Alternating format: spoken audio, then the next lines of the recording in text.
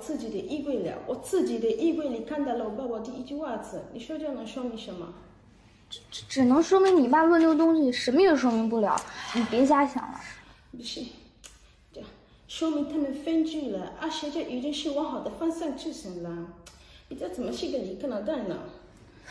你这小说家思维脑洞开的太大了吧？怎么可能分居？好，那那总之都不说，我还有一个罪证。每天晚上我都看到我妈睡在床上，但是我爸睡在地板上。那也没什么呀，我爸也经常被赶出去睡沙发。这一样，我我爸他也睡过沙发呀，可是睡沙发跟睡地板上根本就不是一个性质。怎么不一样啊？那如果我爸睡沙发的话，这说明他跟我妈妈吵架了。那他睡沙发是光明正大、名正言顺的事，但是睡地板就不一样了，就说明他们两个人不能睡在一起。那为什么不去睡沙发？就说明根本不想让我知道。那有一种可能，就是他们离婚了。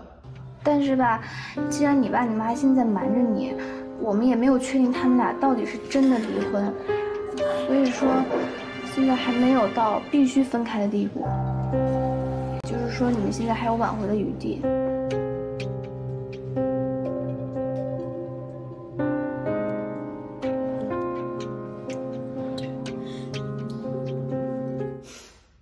你说的对，而且他们还不知道我已经知道他们离婚的这件事。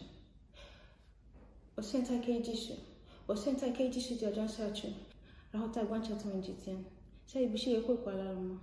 等再回来之后，他们三个再好好商量一下，想个办法把他们撮合在一起，让他们。